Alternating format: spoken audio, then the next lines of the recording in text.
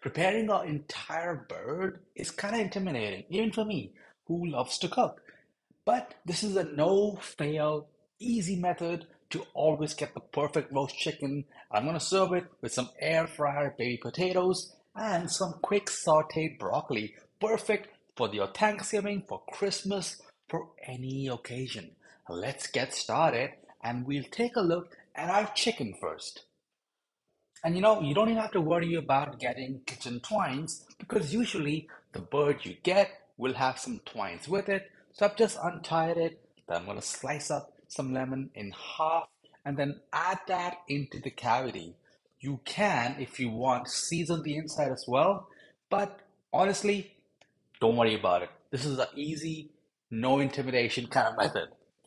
I also have some thyme here, so add that along with the lemon. And if you want, you can also add in other combinations of herbs and even half a shallot.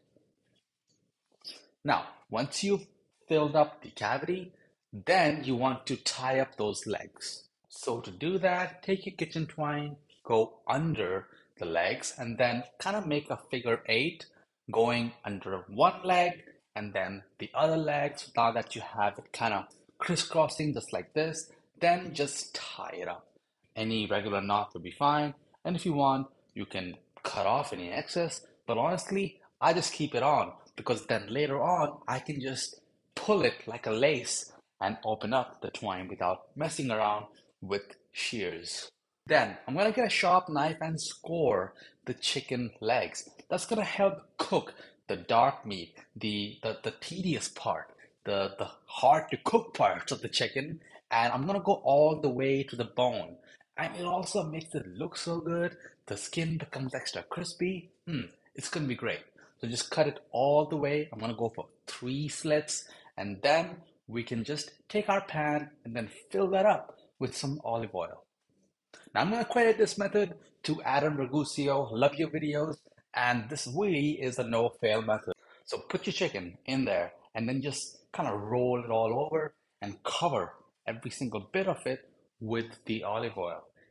Then go ahead and wash your hands, season with salt and pepper, and then again, roll it all around, mop up all the seasonings, and your bird is now ready to start cooking. Now you want to turn the heat on medium to medium high and just cook this until it starts to smell like it's about to burn. And what we're doing is we're kind of kickstarting the parts of the bird that take longer than the breast to cook, and we're giving it a head start. So that includes your back, which we don't even eat, and then the thigh meat that's all tucked up in the back. And once you get a smell that's kind of smoky and you think that it's about to burn, well, I have my oven heated at 400 Fahrenheit. So add that in there and make sure you add it on the lower third of the oven. And you want the bird is going to take about an hour to 20 minutes the process cooking. While that's going on, I'm going to prepare some baby red potatoes, boil them in water until they're fork tender, and don't forget to season the water as well. And here are my potatoes after they were done cooking. I'm just going to leave it aside, and I'll only cook it once the chicken is almost done. Just toss it with some spray oil or olive oil and just set that aside. And then just to save some time, in that same pot of water as the potatoes, add in your broccoli, and we just want to blanch them. We want to par cook them so that they are crisp tender. So after cooking it for about a minute, minute and a half, drain the broccoli and then transfer it to a ice water bath to shock the green color on the veggies. Just going back to the chicken, just make sure you turn the pan every 10 or so minutes. And just by the color of that chicken, you can tell it's pretty close to being done. So you can transfer your potatoes into the oven or into an air fryer and then fry it on high heat until they get nice and golden brown and crispy. We've already cooked them, we boiled them. So all that we need is some color, some texture, some crispiness. Now I'm pretty happy with how this chicken is looking. It's perfectly crispy golden brown all over. And you saw how easy it was to get here. And you want to let the bird rest just to make sure that you have the juiciest chicken. Resting it helps all the juices to settle down in the meaty parts of the bird and not just run out the moment you slice it. And you want to make sure you check the temperature of the bird as well. Check the thickest parts of the leg, of the thigh, of the breast, and make sure everything is at least 165 Fahrenheit. So grab a good thermometer. It really is helpful. Unless you're a pro at these birds, in that case, I don't know why you're on this video, but thank you. And to help it to rest, just move that into a pan and just let all the juices from the bird collect onto that plate because we're going to be using that for our gravy really soon. So you can see in the chicken pan, all those beautiful caramelized brown bits, perfect for our gravy. And in this other pan, I'm heating up some butter for our broccoli. The gravy needs a bit of help to make it really nice and flavorful. So add in one chopped shallot. And if you did choose to put the shallot in the chicken cavity, just take that out. That's to be really nice, soft, sweet, and juicy. Add that in the pan while that's on medium heat. And then we'll also add in some garlic. We want to now saute this until this mixture has become nice and flavorful. And in the meanwhile, in the butter that's melted for our broccoli, you can add in some chopped garlic and let that become fragrant as well. In the meanwhile, our potatoes are getting crispy. And here's our broccoli. You can now drain this and add that to the pan along with your garlic. We just want to saute this for a couple of minutes with some salt, some pepper until it's nice and tasty. In the meanwhile, the potatoes are looking as good as they are, and you can season them with some salt as well and keep them warm, toss it up, and we can always reheat it whenever the chicken is ready to carve. And for the chicken, I can easily untie that knot by just pulling on the string, and I'm to add the thyme that's in there with all those beautiful flavors, put it in to my pan for my gravy, and that's to really infuse it with all that goodness.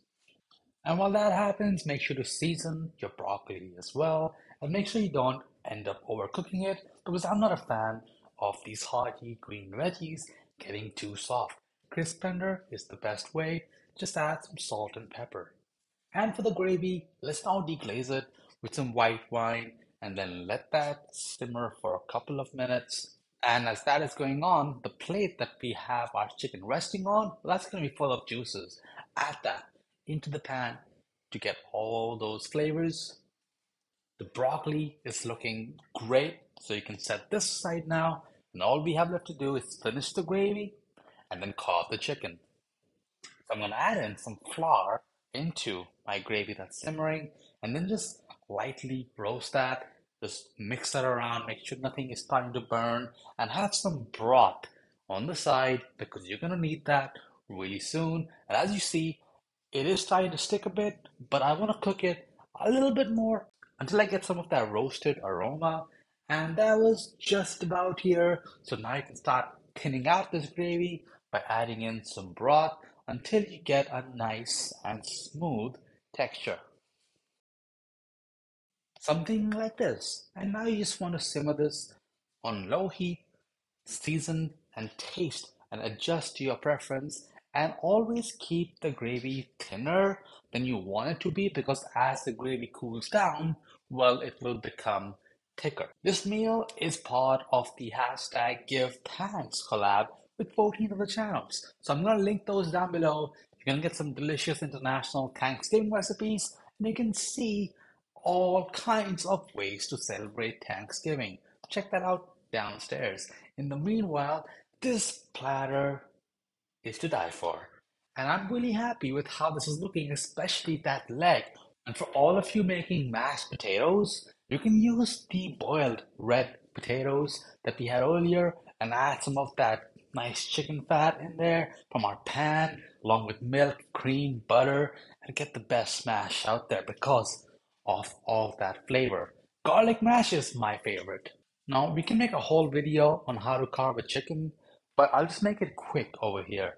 So we have the leg piece. You want to get a sharp knife and cut through the thigh bone, and then we can split the thigh and the drumstick along the drumstick bone. When it comes to carving out the breast part, what you want to do is kind of go down a bit offset from the center, from the breastbone, go down and then curve to the left to go around the ribs, and you'll get a perfectly sliced piece of chicken breast, which I have sliced over here. You have the nice skin, the juicy meat, your veggies, your sides, your gravy, and if you want more stress-free ways to make delicious food at home and want more videos just like this, be sure to hit subscribe. And if you want to see how to make the best creamy mash, well, I'll link that right over here. See y'all.